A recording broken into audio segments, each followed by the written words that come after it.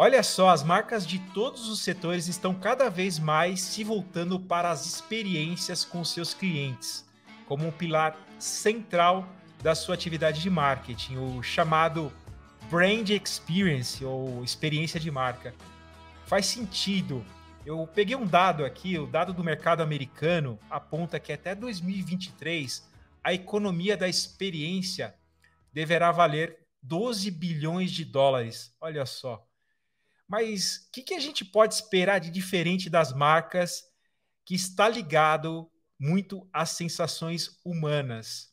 Então, nesse Insidercast, o seu talk show do mundo corporativo, estamos chegando a 300 episódios, hein? Vamos trazer tudo o que você precisa saber sobre o brand experience e o seu lado humano.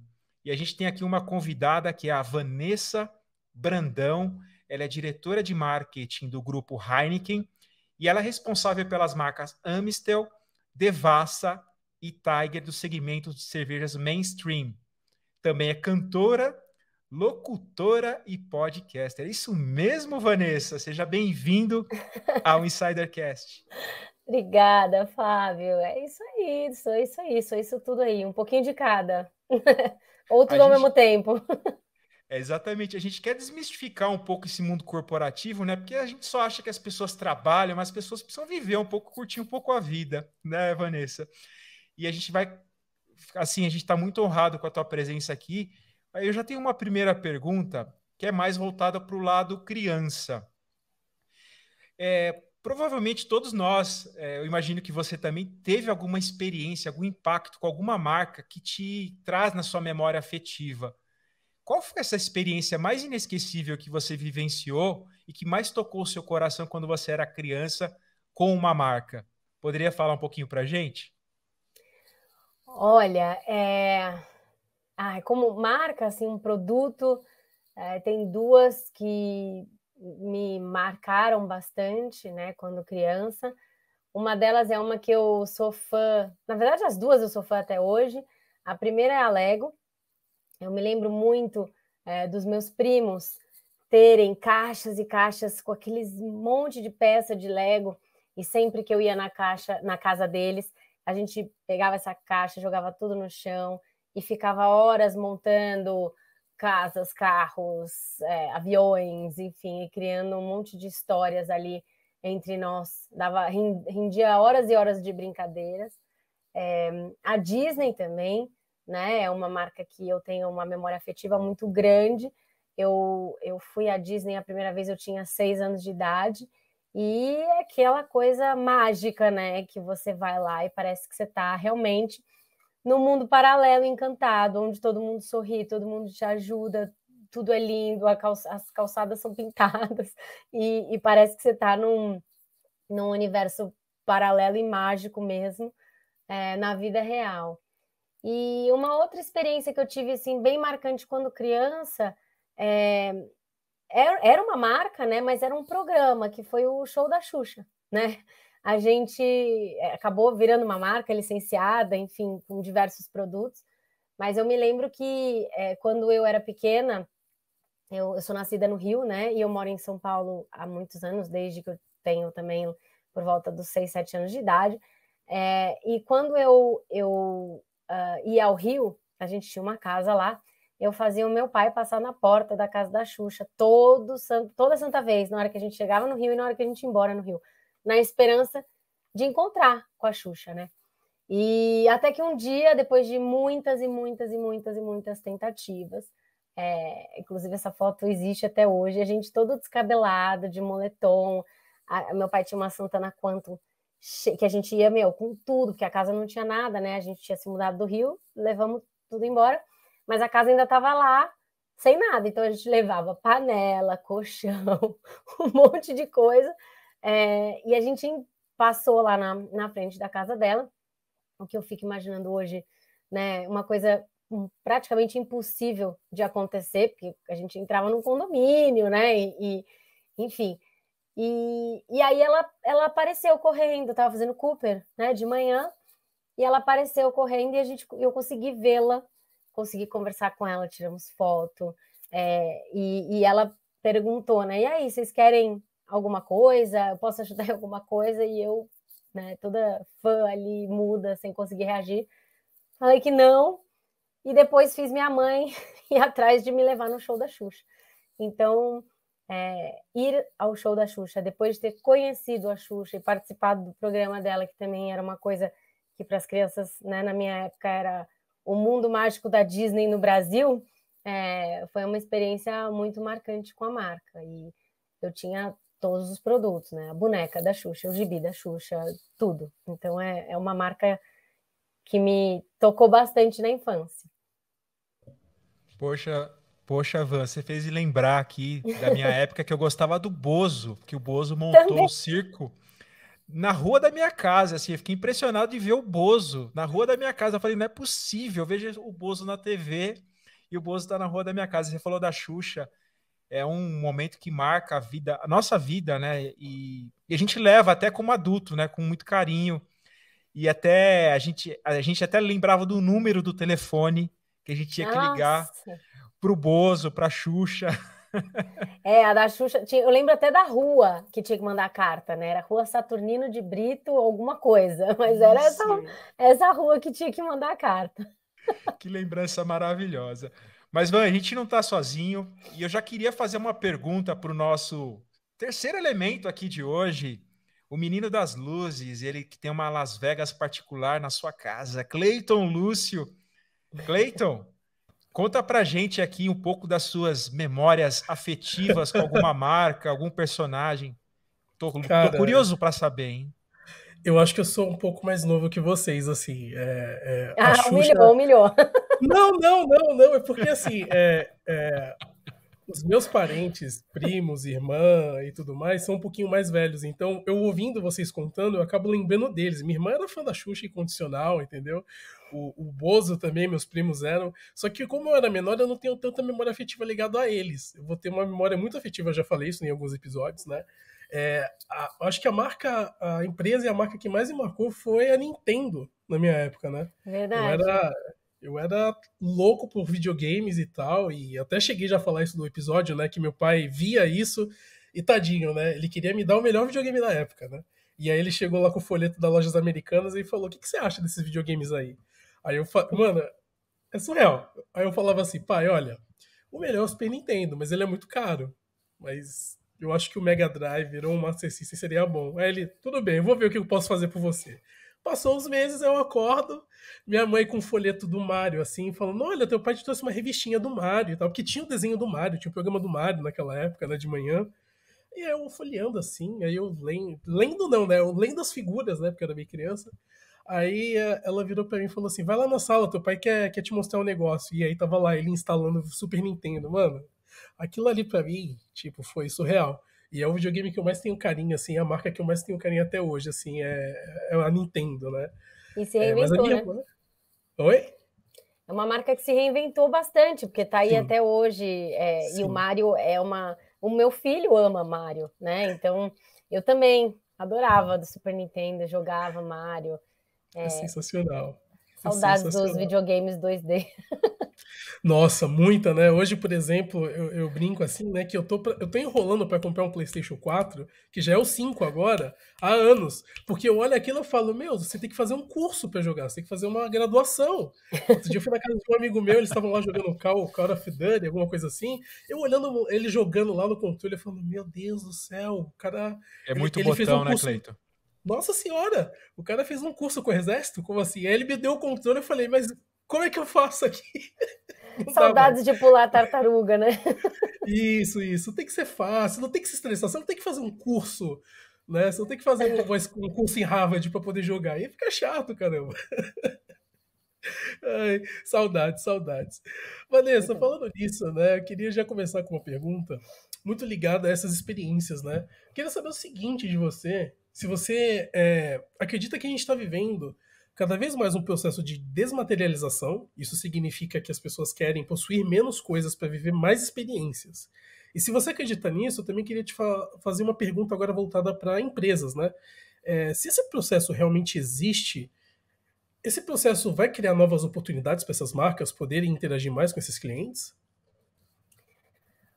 Olha, eu acho que a gente, pela pelas tendências todas e vários estudos dizem, né, que de fato as pessoas elas estão, os jovens principalmente, né, muito menos preocupados em terem posses e, e, e terem acesso, que é diferente de ter posse, né? Então, quando você vê aplicativos é, como um Uber surgindo, ou hoje em dia até aplicativos de aluguel de carro é, que você pode alugar por hora, né, para ir até um determinado lugar, dá um indício de que não necessariamente eu preciso ter para usar, né, e até Airbnb, várias, né, várias tendências mostrando que, né, você pode, por exemplo, você pode usufruir de uma casa de campo num Airbnb sem necessariamente gastar milhões comprando uma casa de campo. Então, eu acho que isso é uma tendência que já vem aí se demonstrando é, real. É, os jovens eles declaram muito em pesquisa que eles querem né, muito mais experiências do que, do que posses, é, e, e, esses, esses aplicativos estão aí para isso, né? Para comprovar o, o, o ponto. Eu acho que isso surge com certeza oportunidades de novos mercados, né? Quando que a gente imaginar que poderia alugar uma casa por três dias, há 10 anos atrás, né? A gente, a gente os contratos de aluguéis eram de dois anos, né? Agora você pode alugar por três dias. Então, é, a história do carro, pô, você não tem um carro, você tem que andar de táxi ou de ônibus ou de metrô. É, agora não, agora se você quiser ter um carro, alugar um carro para ir até o trabalho e voltar, você pode. Então, é, acho que traz infinitas possibilidades e também diferentes mercados que vão surgindo que antes não existiam. E para marcas do meu segmento, né, poxa, cerveja é uma, é, é, é uma categoria que está ligada à experiência, né? Está ligada a momentos de diversão, momentos de conexão, momentos em que as pessoas estão juntas. É, nesse, nesse durante a pandemia a gente teve que se reinventar, né? Porque ninguém podia estar junto. E no pós-pandemia a gente está é, é, entendendo como que esse mercado de experiência é, acontece, né? Hoje, hoje tem novas possibilidades, não necessariamente você precisa estar lá para viver o que está acontecendo lá, que antigamente, né? Ou você tá o próprio Rock in Rio, né? Que vai acontecer agora, é, tem uma série de experiências que vão acontecer virtuais, mesmo você não estando lá, você vai poder é, ter, a, ter acesso a essas experiências. Então, é, eu acho que, que isso abre uma janela de oportunidades, de, de possibilidades que antes a gente nem imaginava né, que poderia ser possível. É tão interessante essa questão da experiência de marca que a própria NBA ela montou aqui a NBA House, assim um grande sucesso aqui no Brasil. E a gente tão longe, né? Porque quando você vai assistir um jogo nos Estados Unidos, na NBA, na quadra de basquete, você tem uma experiência incrível, desde a, a chegada ali ao ginásio, a, a experiência que você tem com games dentro da, do ginásio, as músicas. E é, é interessante porque a NBA conseguiu montar aqui, fazer uma experiência para o consumidor brasileiro. Uhum. É, e eu, Van, eu queria perguntar para você, você trouxe coisas, insights muito legais dessa questão da desmaterialização, até compartilhando com a gente a questão do, das casas compartilhadas, dos carros compartilhados. Mas o que, que você vê como uma tendência dessa questão da experiência de marca? O que, que vem de coisa boa pela frente que você está visualizando? Bom, eu acho que existe é, uma série de coisas que podem né, é, acontecer aí.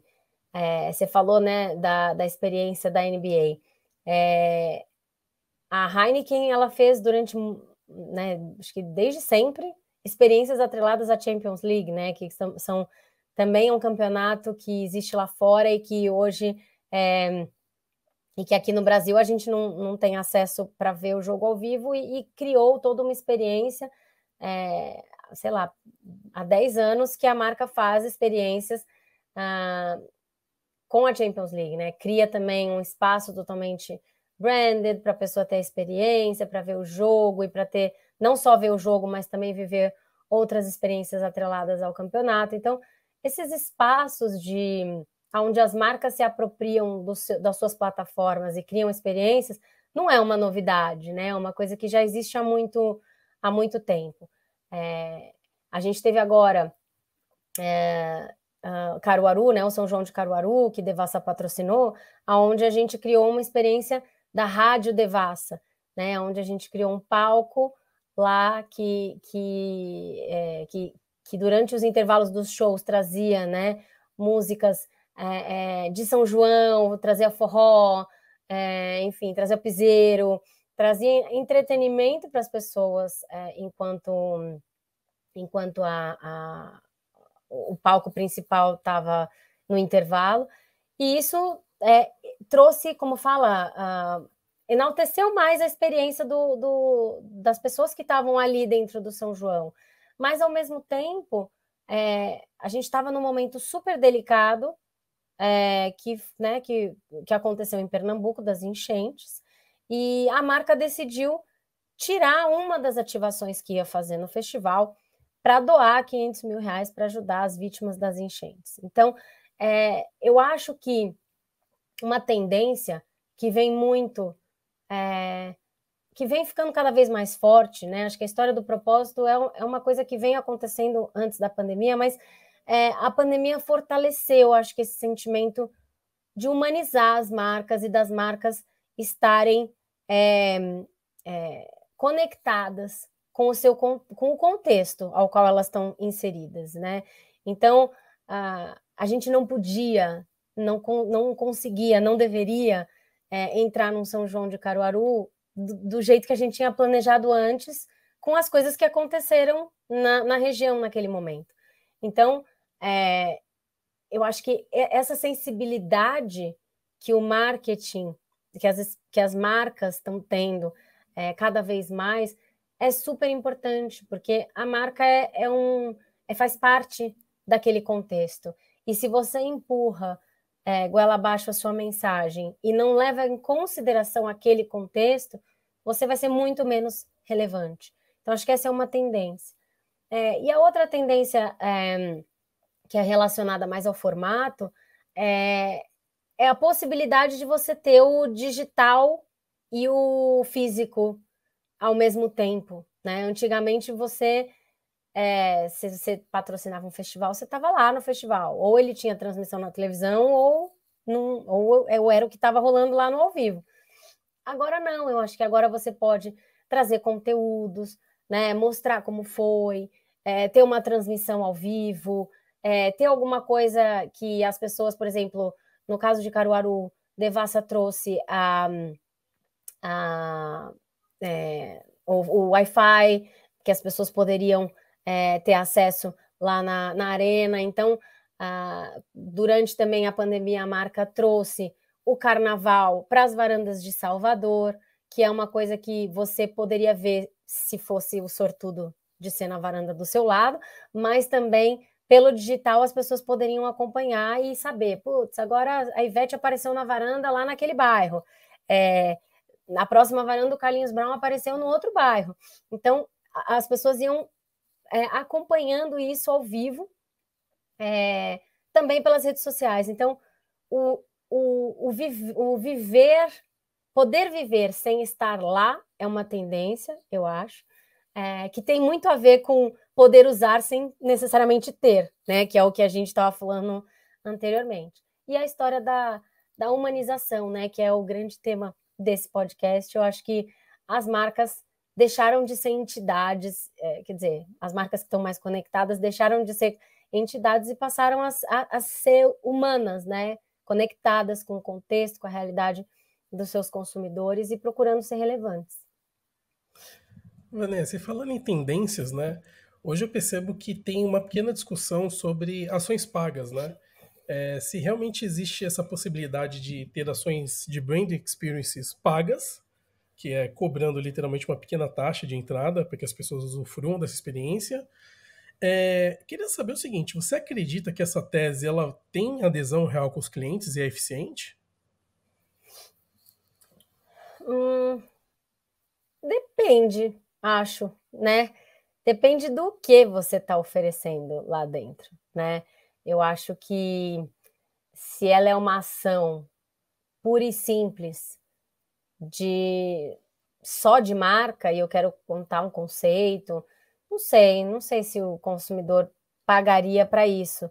É, mas se é uma experiência completamente inusitada, de outro mundo aí que você está trazendo, uma coisa muito inovadora, pode ser que as pessoas paguem.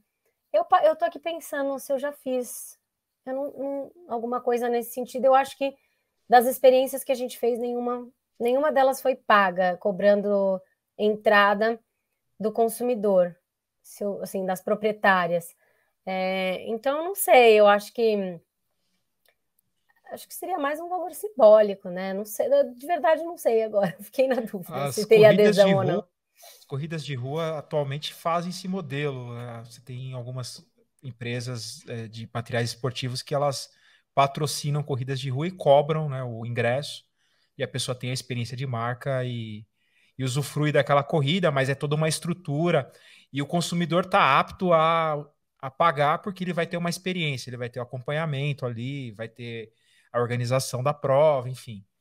Acontece... É, mas aí, é, aí é, uma, é uma experiência da marca, é, ou ela é uma, é, tipo, é uma corrida que a marca patrocina? Não sei é uma corrida que a marca é proprietária da corrida. Tem, tem hum. muitos casos aqui, né, de, de materiais esportivos, né, de algumas grandes marcas que fazem essas, essas ações. Elas são donas da, das marcas de corrida e elas conseguem cobrar um ingresso e ter bons públicos, inclusive. É bem interessante é, eu acho esse que modelo. Pode ser um, um formato que já, já as pessoas estão acostumadas, né? Porque todo mundo que vai correr compra um kit, recebe um kit, tá tem atrelado. toda uma organização. É. Eu não sei, eu, eu, eu, geralmente, por exemplo, no, no meu histórico, eu já fiz é, é, experiências proprietárias que você oferece um serviço, você tem um line-up, você tem uma série de coisas legais, é, é uma festa, né? É, a gente faz bastante festa, experiência de. Agora, recentemente mesmo, a gente fez de Amstel Ultra, é, onde a gente fez um. Eu brinco que é quase que um parque de diversões adulto ali no, no Vale do Anhangabaú, botando tirolesa, tinha um futebol de bolha, tocou o papatinho. É, a gente não cobrou. Uh, a gente faz muito por inscrição. É, nosso formato ele, ele, ele visa mais uma proposta mais democrática, que qualquer um pode se inscrever, né? Desde que seja rápido no link. É, e é por ordem de inscrição. Mas, mas pode ser. Nunca pensei assim. Às vezes também é uma forma de viabilizar, né?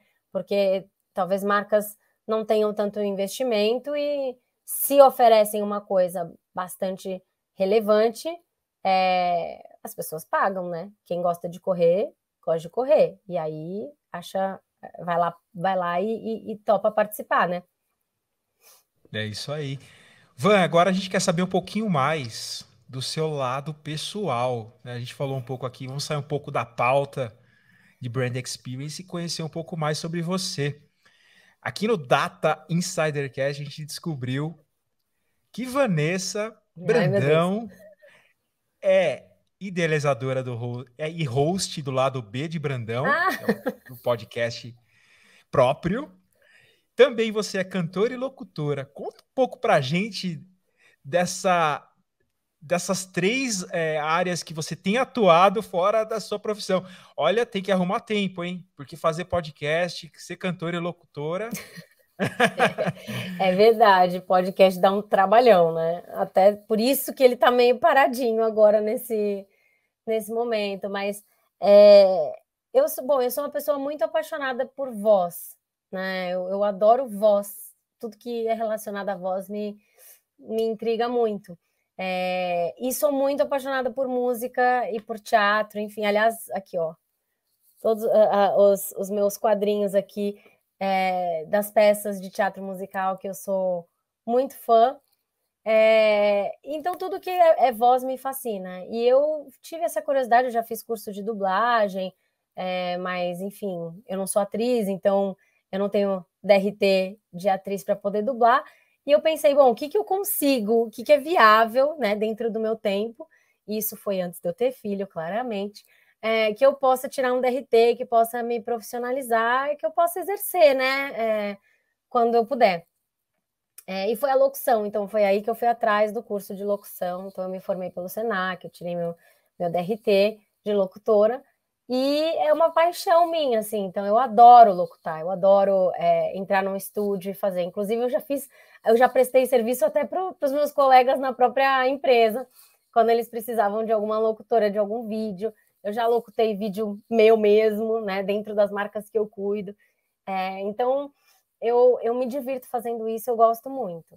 É, só que é, é, o que você falou, né? Não dá tempo de, de mandar o o portfólio aí e sair batendo atrás de job. Então, eu, eu falei o que, que eu posso fazer para continuar exercendo né, esse meu papel que eu gosto, eu adoro é, ser locutora. E aí foi o, o, Eu tive a ideia do podcast é, e eu me juntei é, junto com a Audio Boutique, que tinha interesse né, também em começar a produção de podcasts, e a gente, eu fui gravar lá, eu, eu escrevi o formato, e o formato justamente é, mostra o lado B de pessoas que são bem-sucedidas nos seus mercados, né? Então, é, o que interessa lá não é tanto o lado A da pessoa ou o, o que ela o que ela conquistou na carreira dela, mas sim qual que é o lado B interessante que ela que ela desenvolveu e que faz parte, né? Porque eu acredito muito que é, para a gente ser feliz e completo na vida e também desempenhar o nosso lado A bem, a gente precisa ter os lados B, C, D, E, F, G, né? E, e isso nos alimenta para exercer a nossa profissão da melhor forma, né? Eu, quando eu converso, quando eu gravo o lado B, além de eu estar feliz, né? Eu me sentir feliz e realizada, é, eu também conheço histórias que me inspiram e que às vezes me trazem insights para coisas do meu próprio trabalho. Então, é, esse é um pouco do, de como eu fui parar no, na história do, do podcast. E o canto é engraçado, porque é, a história começou. o Cleiton vai falar, ah, eu não lembro dessa época, eu sou mais jovem, mas na, no, nos tempos de videokê, nos aniversários, é, a gente, eu, eu, eu e um amigo meu, a gente adorava, né? A gente virava Sandy e Andrea Bocelli, a gente sempre cantava a música Vivo por Ela. E a gente não sabia nada de cantar e a gente só curtia. É, e, e, sempre alguém, as pessoas falavam, pô, você devia estudar, você leva um jeitinho aí. É, e como eu tinha pânico de apresentar, é, fazer apresentações no trabalho, eu ficava muito nervosa quando eu tinha que me expor numa plateia ou, sei lá, apresentar para uma audiência. Eu falei, eu vou fazer, eu gosto de cantar e essa atividade ela vai me obrigar a estar num palco, a me sentir desconfortável com todo mundo olhando para mim, mas pelo menos é uma coisa que eu gosto, então eu vou começar. E foi assim que eu comecei, é, há uns 15 anos atrás, é, a, a fazer, a estudar canto.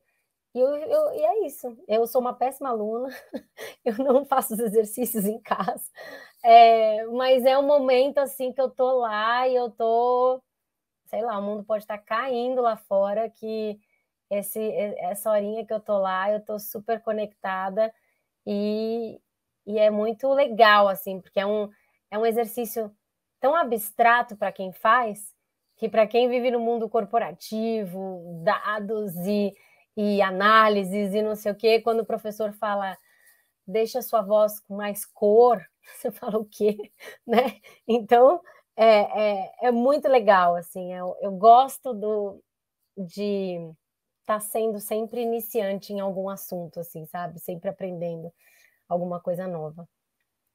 Poxa, que legal. Eu tinha uma dúvida, mas você já acabou respondendo ela, né? Que seria a seguinte: é, se você acredita que realmente o poder, se os hobbies têm poder, é até terapêutico, né? Para as pessoas desacelerarem e conseguirem tocar a vida no trabalho, porque realmente hoje em dia a vida ela é muito acelerada e se você não tem uma qualidade de vida fora do trabalho, onde te dê saúde mental, acho que todo mundo vai pirar. Mas você acabou de respondendo é, com seus próprios hobbies, que, que sim, né? Que a gente precisa ter esses hobbies e também que a gente precisa ter essas experiências fora do trabalho até para manter um pouco a sanidade, porque a pandemia veio e a produtividade aumentou exponencialmente, mas se a gente não cuida depois que desliga o computador da nossa cabeça com coisas que a gente ama, eu acho que a gente não dura muito tempo trabalhando, né, Vanessa? Não, com certeza não. É, e, e, eu acho que é uma das coisas muito, muito. Acho que eu estava até ouvindo, ouvindo, não, desculpa, lendo um artigo esses dias sobre o poder do parar, né? O quanto que a gente precisa parar nesse momento. É, porque a gente acha que a gente não pode parar, né? Parar parece errado.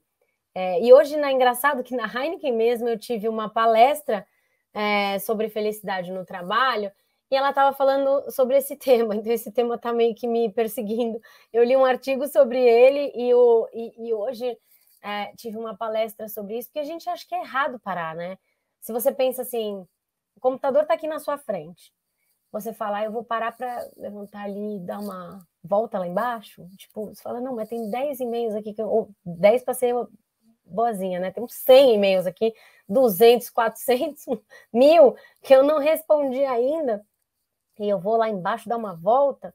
É... Só que quando a gente estava no escritório, você saía de uma reunião para outra, você não conseguia sair respondendo e-mail, né? Você tinha que andar de uma sala para outra, era o mínimo que você tinha que fazer. É... e você estava nesse momento oxigenando, parando, encontrava um no corredor, tomava um café com sei lá quem. É, entrava na reunião de novo e falava: Oi, tudo bem? Hoje você entra na reunião, você fala: Então, o assunto que a gente veio tratar, oi, tudo bem? Né? Como foi seu fim de semana? É, né? Cadê as pessoas por trás da tela? Então, eu acho que. É, e eu vou te falar que isso é, um, é, é, o meu desafio de hoje. Assim, a Heineken ela não voltou presencialmente, a gente está no, no, modo híbrido e vai quem quer no escritório. É, não tem uma, uma regra para você ter que ir. E para mim, o maior desafio, hoje, estando dentro de casa, é desligar o computador e parar. É tipo, agora chega. Porque continua aqui, a tela aberta, no, no, no quarto da minha casa. Então, é, antigamente você fechava o computador e botava na mochila, então tinha um, um ritual, né?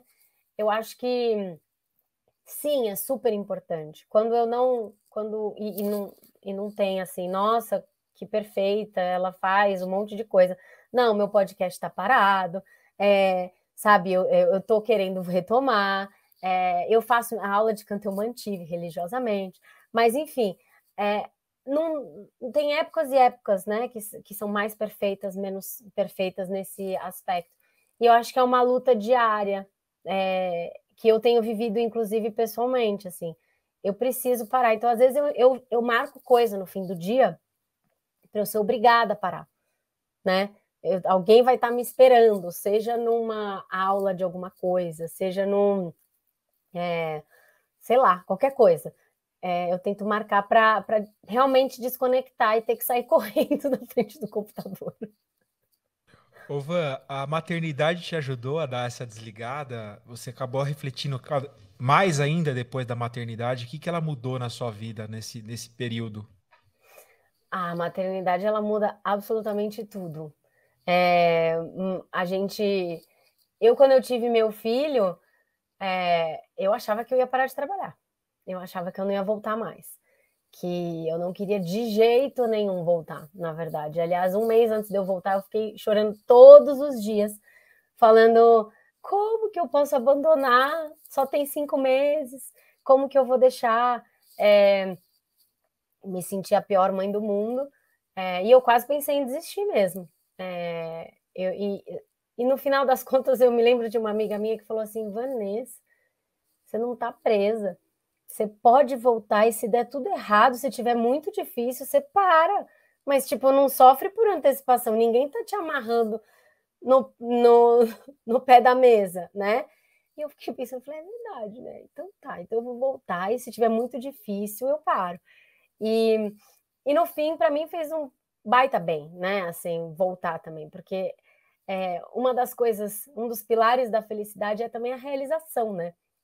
É, e eu me realizo muito no meu trabalho, eu amo o que eu faço.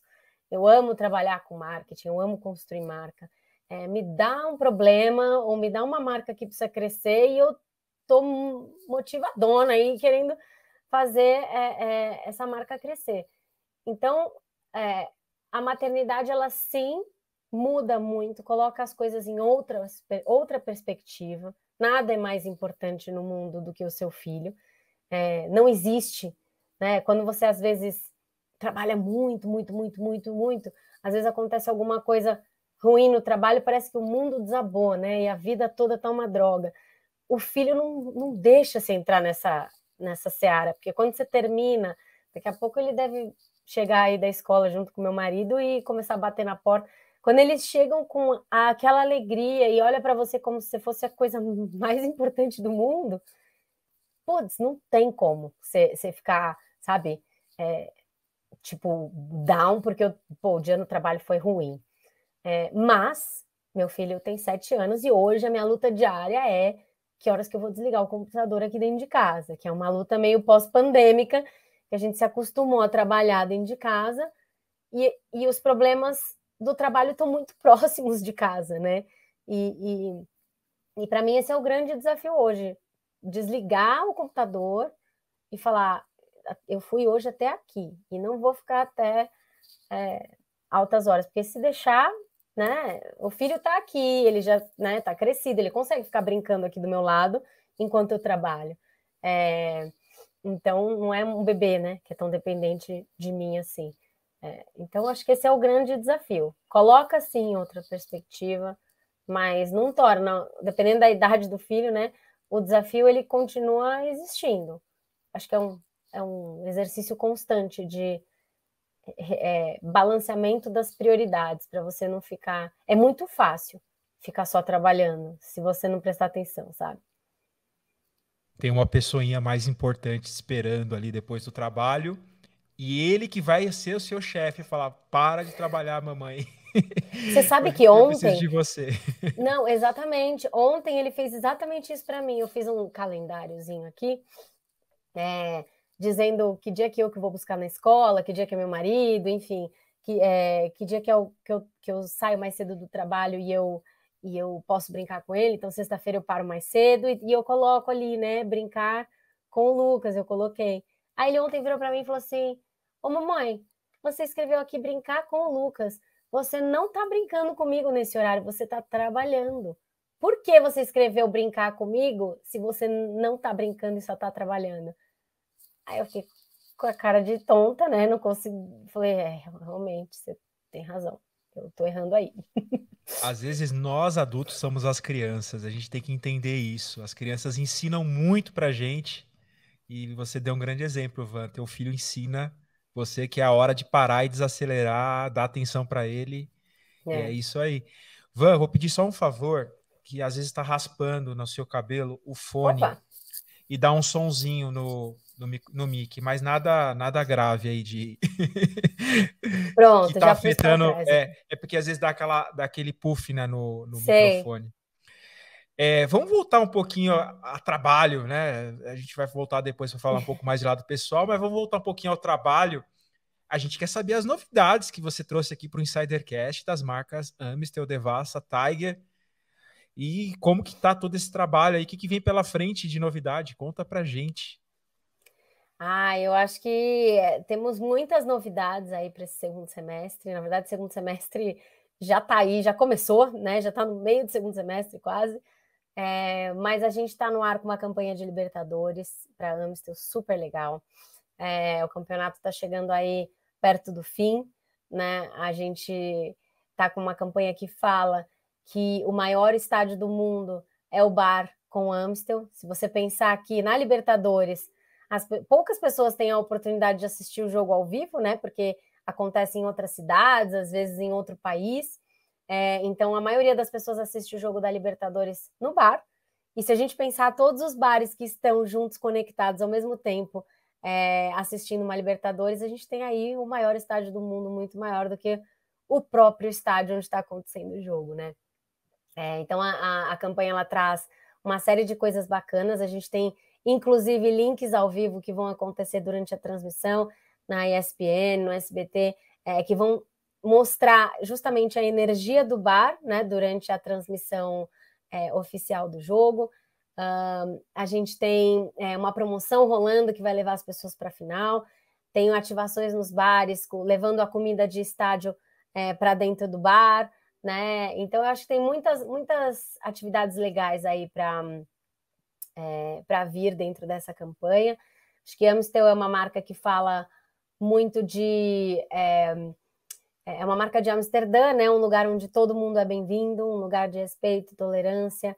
É, ela fala muito de, de diversidade. A gente, né, ainda dentro de Libertadores, fez uma campanha uh, anti-racismo, né? Que tiveram muitos casos, infelizmente, acontecendo, não só na Libertadores, mas também na Libertadores, onde a gente está dando apoio, né, junto com um, o Observatório da Discriminação Racial, a gente está dando apoio jurídico e psicológico às vítimas de racismo para que elas levem suas denúncias adiante, né, porque literalmente todo mundo é bem-vindo, né, então, é, menos os, as pessoas preconceituosas, mas é, todo mundo é bem-vindo e não pode sofrer o que, o que a gente vem vendo aí, né, dentro de um, de um estádio. É, Devassa fala muito é, da criatividade brasileira, uma marca que nasceu né, nesse reposicionamento desde que a Heineken adquiriu. Ela nasceu da criatividade brasileira de pegar uma receita puro malte, que é uma coisa gringa, uma receita pesada, é, tida né, pelos brasileiros como mais amarga, mais pesada, e transformou num líquido leve, refrescante, com malte 100% naturais. É, então, é uma marca que fala muito de criatividade, de brasilidade, de regionalismo. É uma marca é, líder no segmento por malte mainstream no Norte e Nordeste. Uh, então a gente fala muito uh, da nossa essência brasileira, né, direcionada para a população uh, do Norte e Nordeste, que é onde a marca investe. e a gente está com essa campanha nova no ar que fala disso, né? Que fala que essa nossa essência é a, a criatividade, é tornar o brasileiro tem esse dom, né, de tornar tudo melhor. Tudo que a gente encosta fica mais legal, né? Pelo menos é o que a gente acha. Então, é, Devassa fala muito disso e, e, e, vai trazer aí mais novidades um, também para o momento né, da, da, da, consciência negra. Então, tem muita novidade por vir aí. Campanha nova está no ar com a Isa, né? A gente fala dessa nossa essência, fala também dos maltes é, 100% naturais da marca e que traduzem esse líquido leve e refrescante. E Tiger, ela vem de um lugar completamente inusitado no segmento de cervejas, que é de Singapura. É, quando você pensa né, em cervejas, todo mundo fala que vem da Europa, né, que vem dali, que vem dali da Europa. E, a, e Tiger vem de Singapura, né, um lugar que é um país que virou independente apenas desde 1965, né? Então não era um país independente antes disso. E nesse pouco tempo já virou uma potência global, uma referência em tecnologia, né? É um, lugar onde as pessoas vivem muito bem, né? Um, uma em cada seis famílias em Singapura são milionários, o que é muito impressionante para um país que até 1964 não era independente. É, e a Tiger é, nasceu antes também né, da independência do país, o que também é meio inusitado, é, onde no começo do século, né, aonde num lugar onde era super quente e nenhum malte, nenhum lúpulo sobrevivia, né? Então, lá no início do século, quando você é, é, não conseguia produzir nenhuma cerveja em Singapura, nasceu Tiger, a primeira cerveja de Singapura, desenvolvendo uma tecnologia é, é para conseguir fazer, né, produzir uma cerveja em climas tão quentes. E desde então a marca já é vendida em mais de 50 países, já ganhou uh, mais de 50 prêmios internacionais. Então eu acho que é, é uma marca que, assim como Singapura ganhou o mundo, que chegou no Brasil recentemente é, e vai trazer muito, muita provocação positiva para as pessoas, porque é uma marca que nasceu da coragem de desafiar o status quo assim como seu país de origem. Então, é, vai provocar muitas pessoas a terem coragem de seguirem os seus sonhos, de seguirem o seu caminho, de saírem da inércia, de quebrar o piloto automático é, e, de verdade, viverem a vida e serem felizes, que era o que a gente estava falando até agora. Então, é isso. Só isso, tudo isso. São muitas novidades. E muitos Muito. desafios que vocês estão topando, hein? Caramba. E são coisas é. assim delicadas, mas necessárias de serem lidadas, né? Como racismo, como discriminação. Acho que o mundo ele já não suporta mais pessoas assim, apesar de existirem essas pessoas. E quando as empresas se posicionam, acho que fica até mais fácil, porque é mais uma voz no meio de, de, de uma multidão. E uma voz poderosa, porque empresas são grandes influenciadoras. A gente tem que entender isso também. Falando é. sobre desafios, Falando sobre desafios, Vanessa, eu fiquei aqui curioso também enquanto você foi falando sobre os desafios e sobre essa parte de, até entre aspas, discriminação. Cara, eu queria saber de você, agora falando de você, é, quais foram os seus maiores desafios que você enfrentou e enfrenta por ser uma líder mulher? Porque a gente sabe que ainda tem alguns desafios aí. Olha, é, eu acho que eu, eu me considero uma pessoa sortuda nesse quesito porque eu ouço muitas histórias de mulheres que sofrem preconceito, que vivem num ambiente hostil e machista de trabalho, e eu na Heineken eu nunca senti isso, né? Eu acho que que eu sempre tive espaço para propor, eu sempre tive, é, eu, eu, cuidei muito tempo da marca que leva o nome da companhia, né? Eu, eu cuidei da marca Heineken de 2017 até é, o início de 2021. Uh, ah, hoje eu estou com um segmento né, dessas três marcas que é do tamanho da marca Heineken e que tem uma ambição enorme de crescer. Então eu sinto que a, a empresa ela, ela valoriza muito o meu trabalho e valoriza muito. É, não tem essa distinção nesse, nesse aspecto. Uh, então me considero sortuda porque eu sei que existe né, um ambiente uh, um, de mercado que é mais hostil com, com as mulheres. Mas muitas vezes a gente enfrenta é, é, outras pessoas, né? Digamos assim, é, fora, né? Que, que, que podem questionar ou duvidar. Eu acho que eu me lembro de um episódio que eu fui apresentar num evento, estava ali no painel, é, e, e uma pessoa é, gritou da plateia. Isso hoje em dia é, seria bem bizarro, né? Mas no começo ali acontecia, é, às vezes acontecia. E uma pessoa fez uma pergunta da plateia ou, ou, ou comentou alguma coisa do tipo: Ah, mas é, cerveja tem, tem, que vender cerveja para o homem, porque se a mulher compra cerveja é para o é homem. E a pessoa estava completamente desinformada, né? Porque metade do mercado consumidor de cerveja é mulher. E eu estava ali no palco, né? Tipo, olhando aquilo e falando, meu, e aí eu respondo o quê agora, né? Então, é, isso acontece às vezes, mas eu, eu posso dizer que, que é muito é muito pouco. Eu, eu vivi muito poucas situações é, de machismo por ser uma mulher liderando uma marca de cerveja. E também, se vier, vai ouvir, né? Se vier alguém falando assim, vai ouvir, porque hoje em dia, né, pelo amor de Deus, né? A pessoa parou no, na era paleolítica. Mas é, as, o, acho que o maior desafio nosso, das mulheres, muitas vezes é a gente mesma.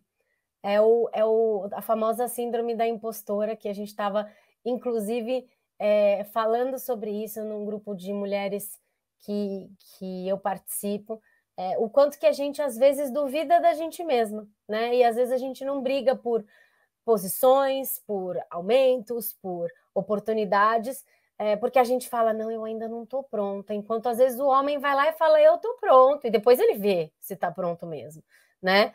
É, então eu acho que esse tipo de autoconfiança é, é, é, é uma coisa que a gente não é treinada a ter. Né? A gente é treinada ah, não faz isso, ai, mulher não faz aquilo, ai, mulher se preserva, ai, mulher não sei o quê, desde a adolescência, né? Ai, mulher não pode isso, mulher não pode aquilo, não pode sair com essa roupa, não fala isso, que senão você vai ficar é, falada no grupo. Então, tem uma, um, uma criação é, é, da mulher ser podada, enquanto o homem é vai lá, faz isso, né? Explora, não sei o quê. Então é, é, é, é, é estrutural. Então isso existe na nossa cabeça. É, e é muito legal porque é, a dica que eu daria para as mulheres que estão aqui ouvindo é se una com as outras mulheres, porque você saber também que há outras que você talvez olhe e admira, também sentem a mesma coisa que você, dá um conforto e fortalece, né? É, você está entre entre mulheres é, e conversar sobre, esse, sobre esses, essas questões ajuda muito, fortalece muito, dá, dá força para seguir. E olhar para trás sempre, né? Olhar a, a jornada até aqui. Quando tem alguém que, sei lá, por algum motivo, questiona o meu trabalho, eu olho e falo, pô, olha tudo que eu vivi até aqui, olha tudo que eu construí até aqui, não vai ser essa pessoa que vai conseguir me, me derrubar, né? Então, é, acho que esse é o maior desafio, muito interno, né, do, de uma coisa estrutural que a gente é treinada é, para se podar, é, do que de fato alguma coisa que eu senti na empresa. Eu trabalho há 11 anos na Heineken, né? Então, é, a minha experiência maior, mais longa foi na Heineken. É, então, é, aqui, graças a Deus, eu sempre tive é, todas as oportunidades sempre fui muito bem reconhecida. Estou aqui até hoje por isso. Poxa. Você falou da síndrome da impostora. A gente tem um episódio aqui no Insidercast, até convidando aqui os insiders, é, com a Cláudia Ferres, ex-Microsoft, que ela, no episódio 189, a gente falou muito desse tema da síndrome da impostora. E você falou um pouquinho da questão da representatividade da mulher. A gente está aqui no movimento no Insidercast que a gente quer mais mulheres em cargos de conselho de administração. Infelizmente, hoje, a gente tem menos de 20% de mulheres em cargos da administração nas empresas brasileiras, segundo a pesquisa da Deloitte.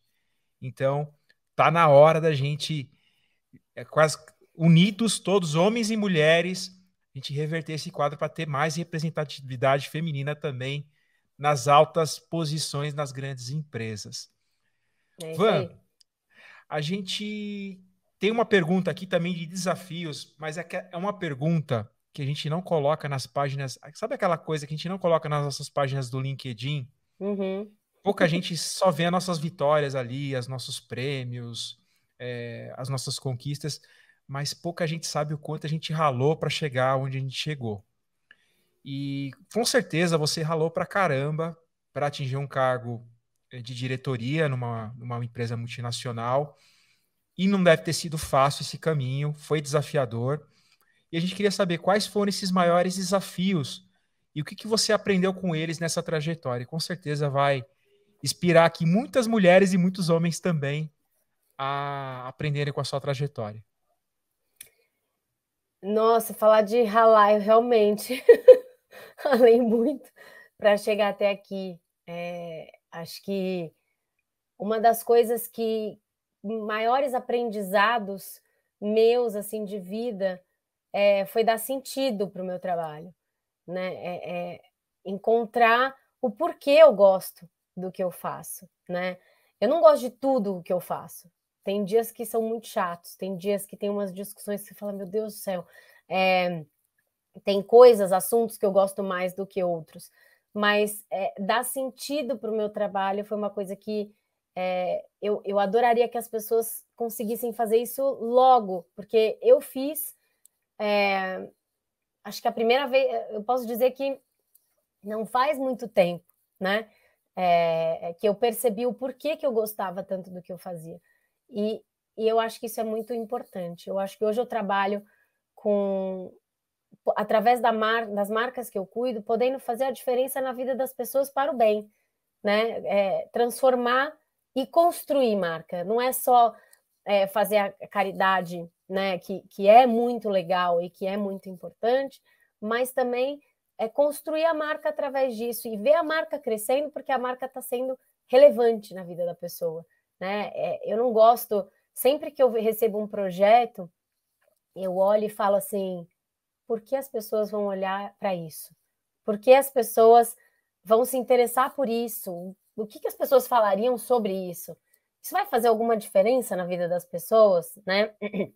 Então, quando eu posso, através de uma marca como Amstel, né, que tem esse posicionamento, vem de Amsterdã, lugar de respeito, tolerância, todo mundo é bem-vindo, e, e, entra num contexto, né, que a gente falou aqui no começo do episódio, de um país que mais mata pessoas trans no mundo, pelo 15º ano consecutivo, a gente fazer uma ação onde a gente retificou o nome de 863 pessoas trans é, durante a Feira da Diversidade é uma, é uma coisa que, para mim, assim, vale qualquer madrugada que eu passei trabalhando muito para essa ação acontecer. Eu me lembro que a gente teve um. A gente tinha a possibilidade, estava preparado financeiramente para atender 200 pessoas. E a gente teve 863 inscrições no site. E o meu time falou: Van, temos mais gente. O que, que a gente faz? E aí a gente se juntou. Era, eu me lembro que a reunião era, sei lá, a gente começou uma reunião, era oito e meia da noite. É, e, eu, e eu olhei e falei: Meu, a gente não pode, né? O time não estava confortável e nem eu de chegar para as outras 663 pessoas e falar assim: infelizmente, eu não vou poder transformar a sua vida hoje.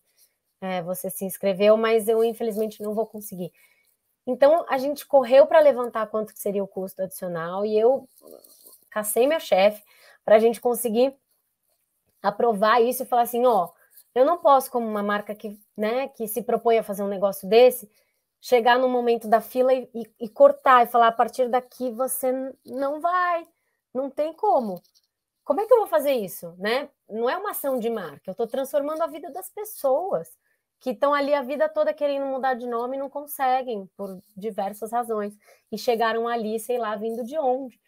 Então, isso para mim dá sentido para o que eu faço. Isso para mim é vale qualquer suor e, e, e em relação. Então, busque um sentido para o que você faz. O que você faz transforma a vida de alguém de alguma forma.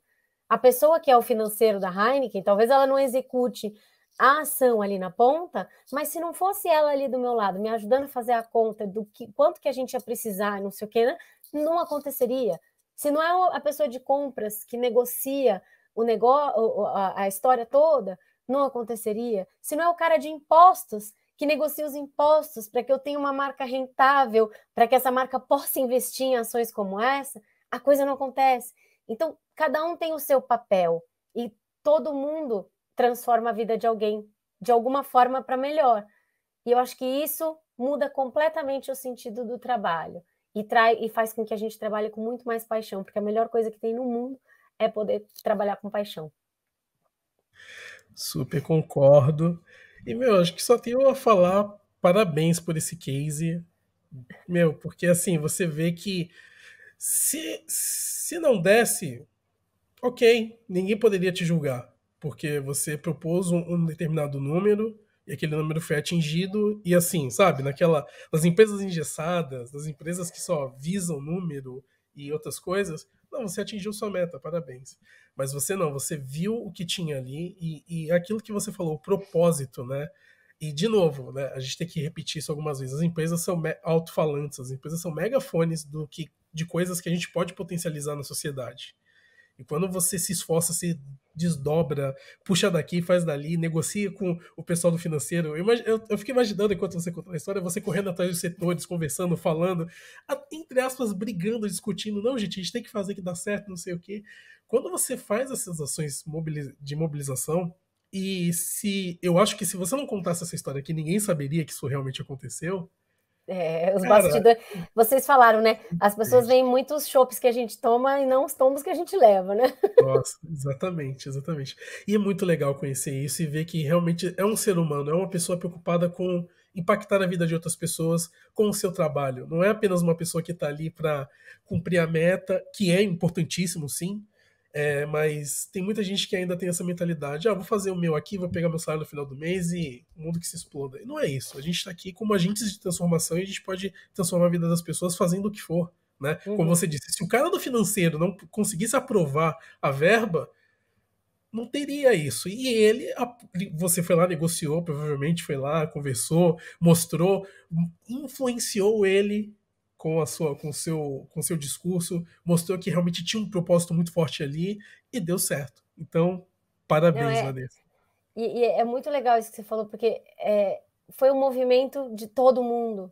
Não foi difícil para mim aprovar isso, né? Assim, foi na hora que eu falei, automaticamente, primeiro meu time, que foi quem levantou, quem descobriu Sim. que estava é, é, que a gente estava com inscrições maiores e estava inconformado e veio falar comigo aí na hora eu, eu me convenci, obviamente, automaticamente, fui falar com todo mundo. Na hora que eu falei com o meu chefe, ele, ele falou: não, a gente tem que fazer. Não sei como nós vamos fazer, mas vamos fazer.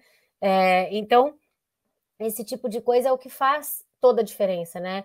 E a gente estava falando aqui de mulheres no conselho, de conselho, né? O conselho que lida com os acionistas e empresas que têm que dar lucro, sim, são negócios, né? Nenhuma empresa é, é, sobrevive se não der lucro, não é, nenhuma empresa é longeva se não der lucro. É, mas lucro, lucro a troco de quê? Né? E também de que forma? Porque no final das contas, as marcas elas têm que crescer. Mas você pode crescer de duas formas. Você pode crescer é, pelo amor que as pessoas vão ter pela sua marca, é, o fato de você ser diferente e a pessoa fala, tá legal, eu tenho aqui um monte de pasta de dente, mas essa aqui fez alguma coisa que mudou minha vida. É, eu tenho aqui um monte de cerveja, mas essa aqui eu acredito que é de boa qualidade e ela transformou minha vida, ela mudou meu nome. Então, isso não, não tem preço, né, no final das contas. E, e, e, isso, no final das contas, quando você chega na gôndola de cerveja, é, vira market share, porque aquela pessoa que tem uma memória afetiva com a sua marca vai escolher a sua marca ao invés da outra, e isso vai virar ganho de market share, vai virar mais rentabilidade. Ela vai estar disposta, inclusive, a pagar mais pela sua marca. Então, uma coisa que eu falo muito, a gente tem na Heineken, um, é, a companhia né, tem o, o, o, a missão né, de colocar a nossa estrela em cada coração e cada copo do consumidor. Quando você fala isso, o coração vem na frente, né? Porque primeiro, para você chegar no copo, você tem que primeiro passar pelo coração, para depois você ser lembrado na hora que chega na gôndola e aí você chegar no copo. Então é um pouco a forma como a gente pensa, como eu penso, é, e é por isso que a gente ia virar quantas horas fossem necessárias para conseguir atender lá as 863. Ninguém soube de, de, que você falou, né? Ninguém soube dessa história, mas é, a notícia já, já tinha sido, né? Que, que a ação ia acontecer, já estava na imprensa, a marca já tinha se, entre aspas, beneficiado, né? Do, do é, é da notícia positiva. Mas é isso. Quem, quem dorme, né? com a cabeça no travesseiro não é a marca, sou eu, é o meu time, é todo mundo que trabalha em volta dessa marca. E, e essas pessoas, elas descem de outras, né? De Tiger, de Devassa também, que fala muito de representatividade. É, a gente está tá afim de fazer a diferença. Poxa, parabéns novamente. Infelizmente, eu sou o portador de malas notícias hoje. Não queria acabar esse episódio, porque para mim foi muito legal bater um papo com você. Bateria horas e horas a fim esse papo. Mas infelizmente, Vanessa, a gente está chegando ao final. Mas antes de ir embora, eu queria que você deixasse um recado final para os insiders e também as suas redes sociais para eles poderem entrar em contato com você. É... Primeiro, obrigada né, pelo convite, Fábio, Cleiton. É... Foi um prazer aqui estar no Insidercast. É, agradeço muito a oportunidade de estar aqui para falar das nossas marquinhas queridas. É, me, o meu Instagram, o meu LinkedIn é Vanessa Brandão, né? Eu não sei se depois quiserem postar o link, podem me seguir lá no LinkedIn. É, e o meu Instagram é vanessa.brandão, ou, né? Com dois Os no final. Então é vanessa.brandão, ou. Também podem é, conversar por lá. Estarei lá todos ouvidos. É, é um Instagram pessoal, então eu já aviso, né? Eu não falo de trabalho, eu não, não olho propostas, patrocínios, essas coisas, porque nem é o canal né, da empresa apropriada, é o Instagram pessoal, que eu divido lá pensamentos, músicas, enfim, coisas da minha vida.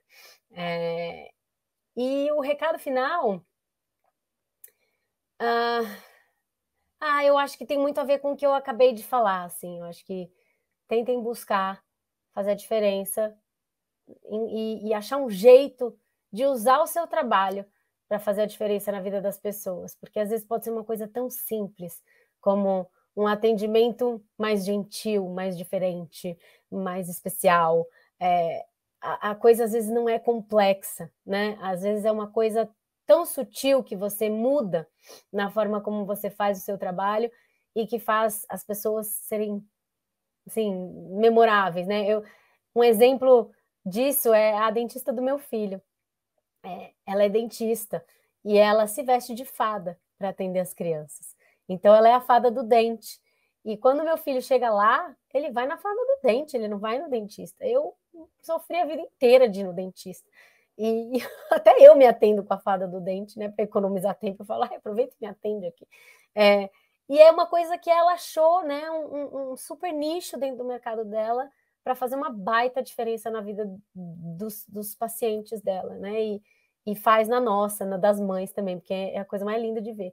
Então, é, é isso. Achem o que, que é o, o achem o, como vocês vão fazer a diferença através do seu trabalho na vida das pessoas, porque no final das contas é isso que importa na vida, né? O quanto de memórias inesquecíveis a gente plantou para os outros e que acaba plantando para a gente também quando a gente faz.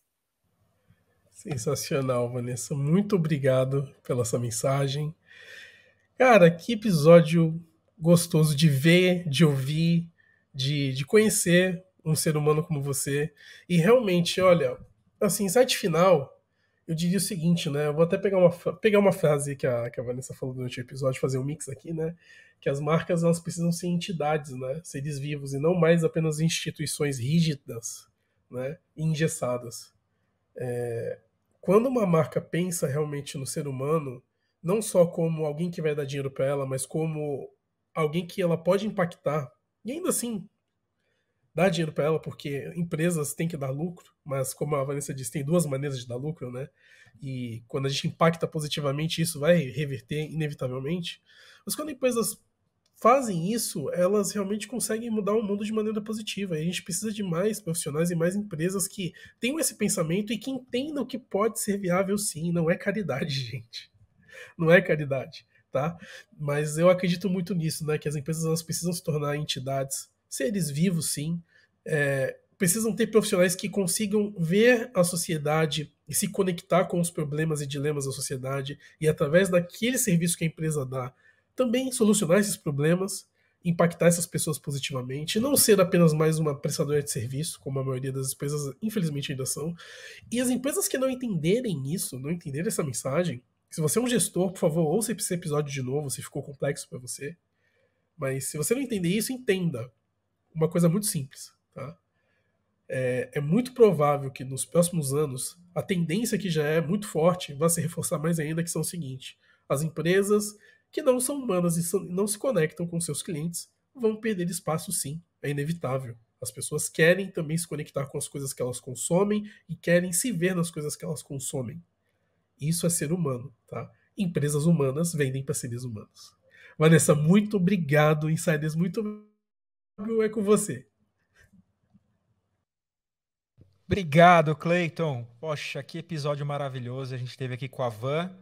Olha, o meu grande insight rapidamente aqui, eu lembrei uma frase do Washington Oliveto. Ele diz uma coisa: que uma coisa não mudou, uma coisa que mais continua fascinando o ser humano é o outro ser humano.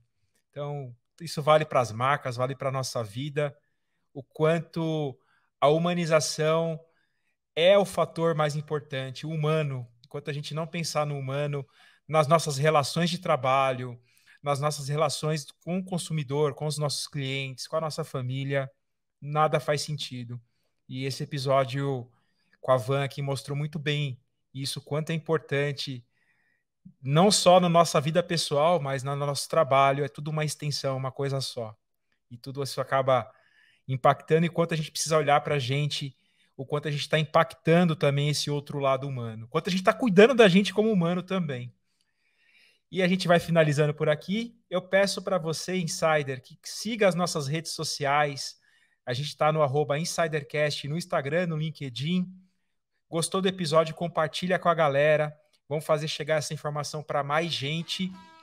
E também o recado final: se você quer fazer o seu talk show corporativo com a Insidercast Produções, é só entrar em contato com a gente no contato arroba insidercast.com.br.